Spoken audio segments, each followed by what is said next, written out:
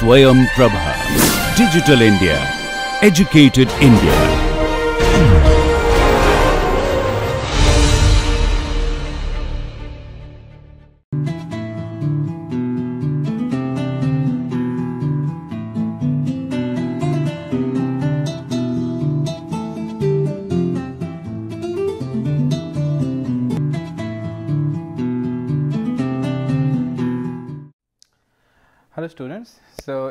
Previous class we started with uh, Green's uh, theorem uh, in vector calculus. So, we saw that if we if you have two functions say m and n which has um, uh, continuous partial derivatives with respect to x and y, uh, then in that case um, um, then in that case you can be able to write uh, this identity del n del x minus del m del y dx dy is equals to is equals to line integral m dx plus n dy and you take the integration um, this uh, line integral in such a way that the region R which is being enclosed by the curve C uh, is always on the left hand side. So, that means uh, in a way you are walking in anti-clockwise direction all right.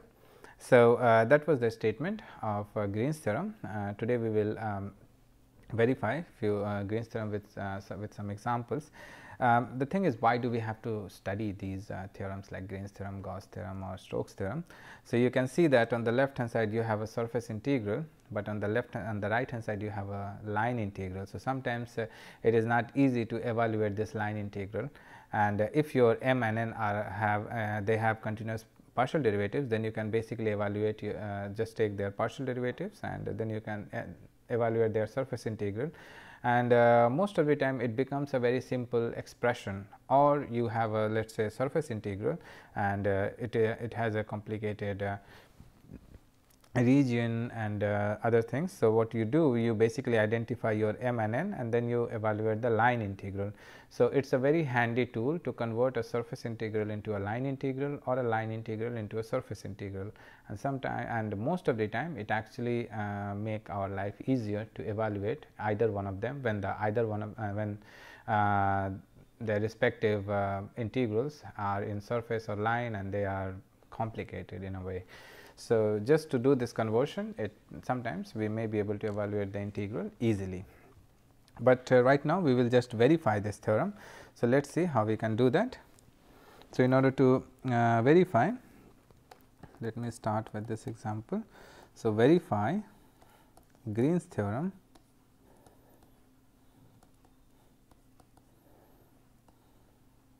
verify Green's theorem in the plane for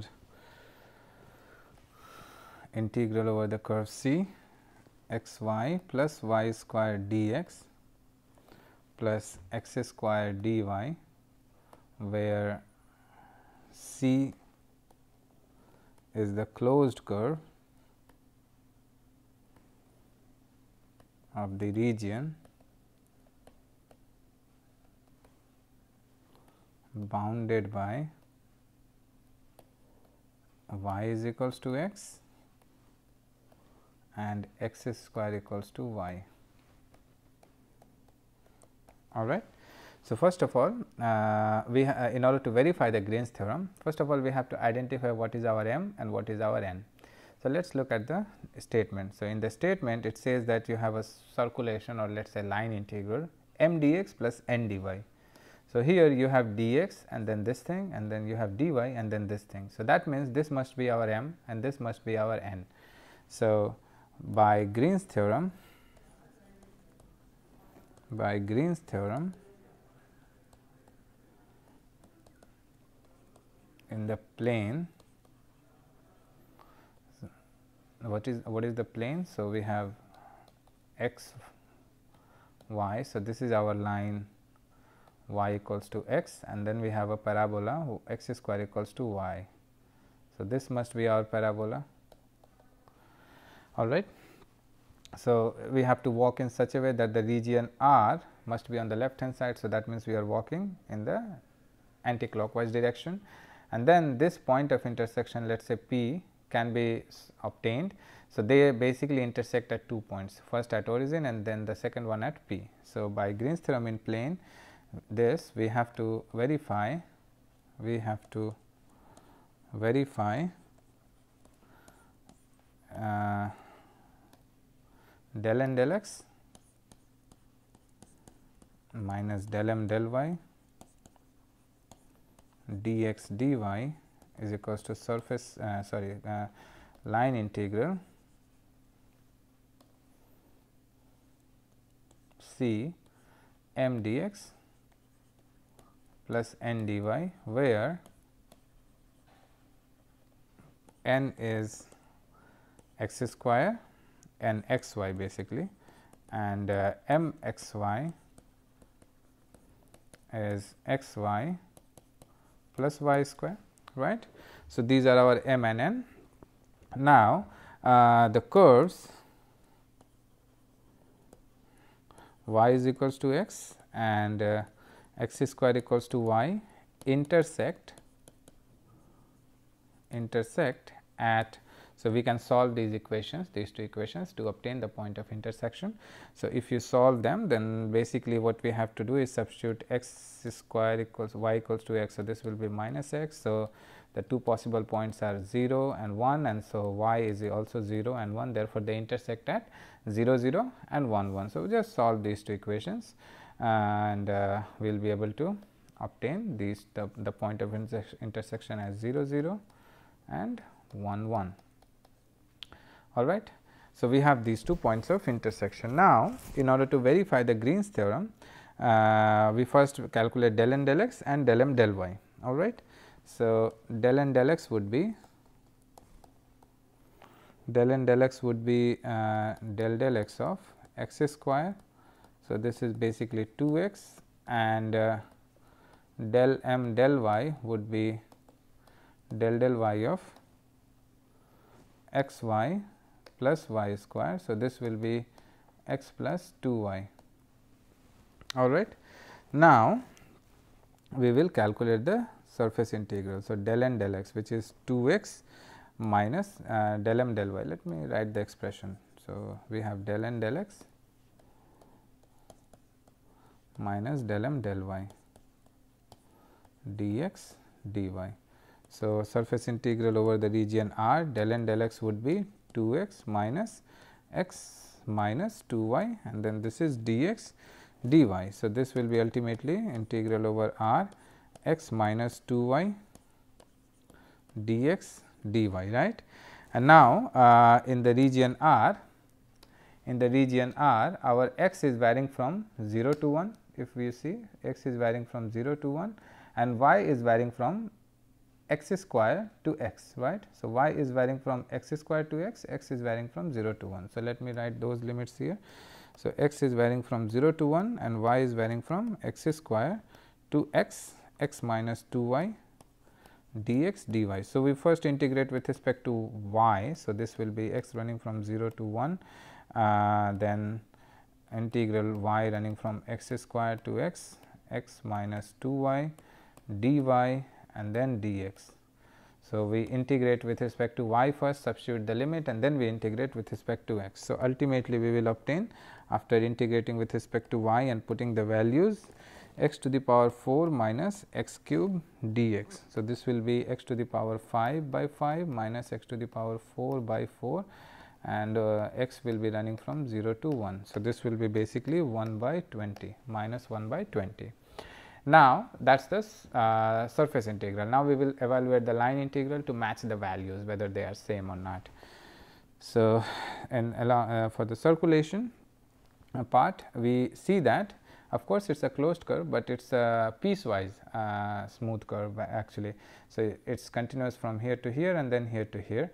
So, we actually evaluate the line integral uh, along these two paths. So, first we will evaluate along this path and then we will evaluate along this path. So, we did some uh, an example like this. So, if we go back, so this is our C, m is basically um, m is basically x y plus y square. So, x y plus y square dx and n is x square dy. So, along we can let us write C 1 x y plus y square dx uh, plus x square dy and then we have another integral C 2 x y over C 2 x y y square dx plus x square dy. So, what do we have is basically is I am calling this one as C 1 and this one as C 2. So, the part of the parabola is considered as to be C 1 and the part of the straight line is considered as to be C 2. Now, along C 1 basically, now along along C 1 uh, we have y is equals to x square and therefore, dy is equals to 2 x dx. So, I will substitute dy is equals to 2 x dx here and uh, x will vary from 0 to 1 and uh, similarly along this line we have y is equals to and along C 2 and along C 2 we have y is equals to x.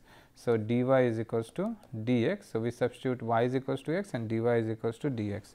So, let us call it as I c. So, I c is basically integral over C 1 that means x is running from 0 to 1 uh, x y, y is basically x square plus x to the power 4 dx plus x square 2 x to the power 3 dx plus integral x running from 0 to 1 along C 2 y is x. So, this is basically x square plus x square dx plus x square dy. So, dy is basically dx. Now, we have to evaluate this uh, this line uh, this integral where the limit is from 0 to 1. Let me put everything in the bigger bracket. So, this is our given integral and if you evaluate this whole thing if you evaluate this whole thing then uh, it will be actually um, uh, you will obtain as minus 1 by 20. So, this is not very complicated to uh, obtain. So, uh, of course, there will be a minus sign here because uh, forgot to tell you because we are going in the reverse direction. So, if we are going in the reverse direction that means we are going from 1 to 0. So, if we are going from 1 to 0 then I want to reverse the direction I want to go from 0 to 1. So, I have to put a minus sign here. So, this is this is an obvious thing that we have to remember and uh, keeping a minus sign here because initially it was supposed to be uh, 1 to 0. So, now we are doing 0 to 1. So, a minus sign and then you evaluate and then basically obtain minus 1 by 20. So, you see this is how we verify the Green's theorem. So, it's it's it will be slightly lengthy because all these theorems. So, Green's theorem, Stokes theorem or Gauss theorem if you want to verify then it will be lengthy because uh, you have to check both sides of the identity. So, here in this case we had to guess what is our m and n and from there we had to calculate del n del x del m del y and then substitute here and simplify the surface integral. Similarly, for the line integral I had to calculate uh, the line integral along two different paths and substitute here and uh, uh, just see whether the two sides are equal or not. So, since the both sides are equal that's that means that actually um, that uh, Green's theorem uh, hold true in this case. All right. So, uh, this was uh, an interesting uh, example where you verify the Green's theorem. Let us consider an another example where we can use the Green's theorem to simplify a, a given integral which is slightly complicated. So, example 2 evaluate by Green's theorem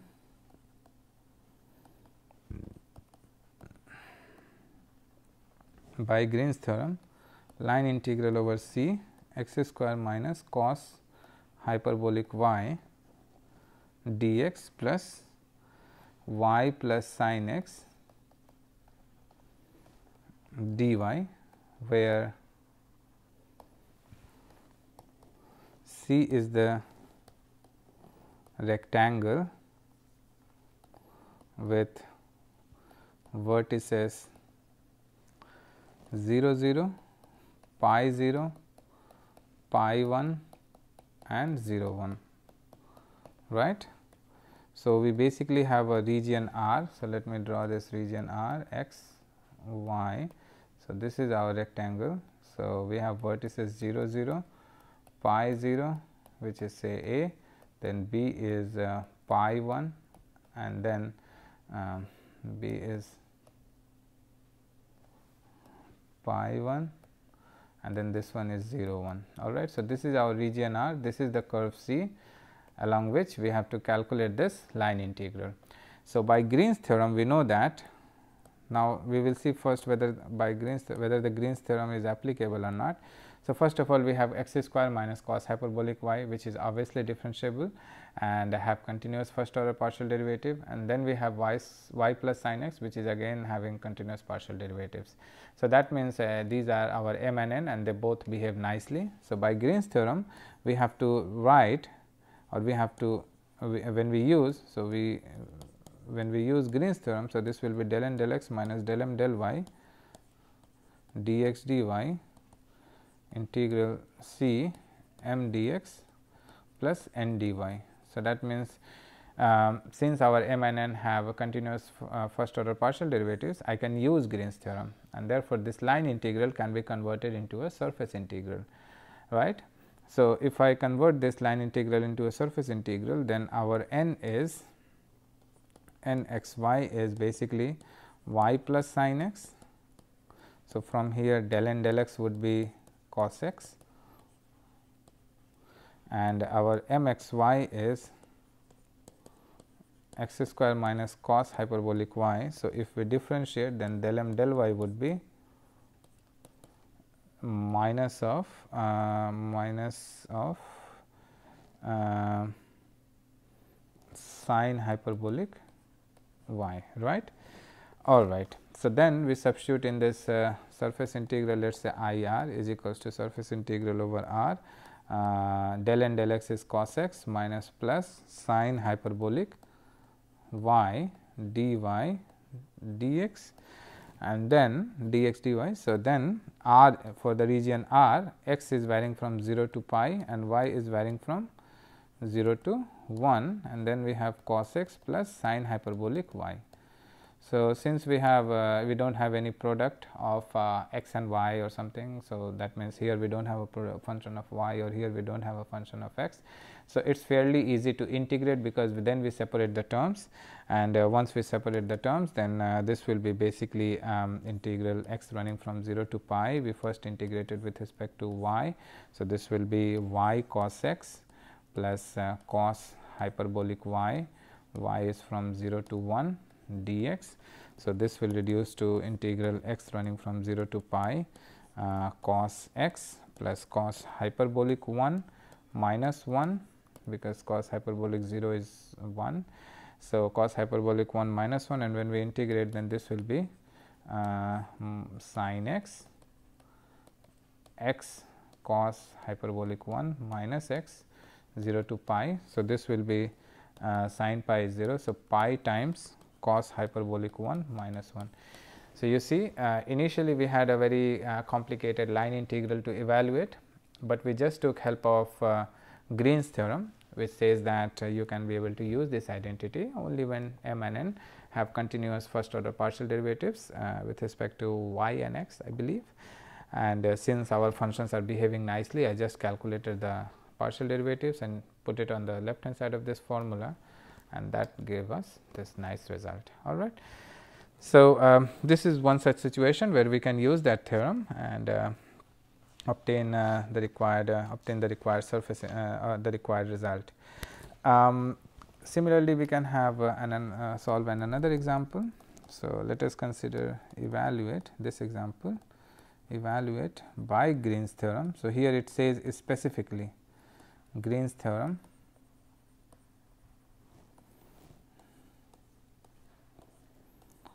cos hyperbolic uh, sorry cos x sin y minus x y dx plus sin x cos y dy where C is the circle x square plus y square equals to 1. All right. So, here again we are given a very complicated expression uh, to evaluate and obviously when you are told that you have to use Green's theorem then you really do not have any way out. So, we see how we can use the Green's theorem. So, first of all we have cos x sin y x y sin x cos y. So, they are all very nicely behaving functions. So, obviously, they have continuous partial derivatives. So, we do not have to worry about that.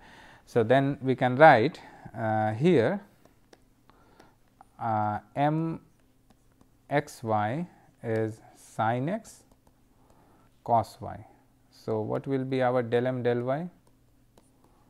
Del m del y will be minus of sin x cos y right and uh, uh, cos x sin y sin x cos y. So, if I differentiate so this will be minus of sin x minus of sin y okay sin y. So, this is sin y and n x y is cos x sin y minus x y. So, this will be del n del x and del n del x would be minus of sin x cos uh, sin y minus of y. So, therefore, by Green's theorem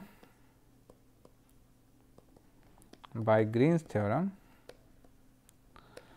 uh, we have over region R del n del x minus del m del y dx dy is equals to line integral uh, m dx plus n dy. So, del n del x is minus of sin x sin y minus y and this one is plus sin x sin y. So, you see we will basically obtain a very simple expression to solve. So, instead of working with this complicated one we will obtain a very simple expression to to to to, to work with. So, let me write I r, I r is over r del n del x minus del m del y dx dy. So, what is our del n del x? So, del n del x is uh, minus of sin x sin y minus y minus of sin x sin y minus y and minus del m del y del m del y minus minus plus. So, this will be plus sin x sin y. So, they both will get cancelled dx dy and then we will basically obtain over region R minus of y dx dy right. So, now uh, for this circle R uh, our x will vary from 0 to so the equation of this circle is 1. So, our x will vary from 0 to 1 and y will vary from 0 to uh, sorry uh, minus of 1 minus x square to plus 1 minus x square y dx dy right because uh, our that is the range for the y and uh, the range for the x is uh, so, the range for the x is uh, 0 to 1 or what we can do. Uh, so, here you can integrate and then uh, we basically obtain. Uh, so, uh, we basically obtain uh, here um, um, so del n del x. So, this is my m oh sorry. So, this is this is our m and this is our n. So, that m. So, this is my m. So, del m del y is uh, cos x sin y. So, this is cos x uh, excuse me. So, this is cos x. So, this will be uh, I think I, I took the wrong m actually. So, this will be cos x cos y minus of x and this is my n yeah this is my n. So, this will be del n del x. So, this is del n del x and del n del x is uh, cos x cos y yes. So, this will be uh, cos x cos y. So, this will be cos x cos y. So, if now if I substitute then this will be minus minus and then plus yes. So, this is basically uh, so ultimately here we will obtain uh, cos x cos y. So, we will obtain uh, cos x cos y cos x cos y plus x uh, plus x minus of cos x cos y. So, ultimately we will obtain here is x dy dx right. So, we will obtain basically x dy dx. So, either uh, we can either we can have uh, x 0 to 1 and y running from minus 1 minus square root of 1 minus x square to plus 1 minus x square x dx dy or we can substitute x equals to r cos theta and y is equals to r sin theta. So, then in that case this surface integral I r would reduce to integral over the region r. Uh, our r will vary from 0 to 1 and theta will vary from 0 to 2 pi. Uh, x will be r cos theta and uh, dx dy will be r dr d theta and uh, then basically this will be uh, if we integrate cos theta then uh, this will reduce to r running from 0 to 1 r square dr and then we will integrate 0 to 2 pi cos theta d theta. So, if I integrate cos theta then it will be sin theta and uh, sin theta at theta equals to 2 pi it will be basically it will be basically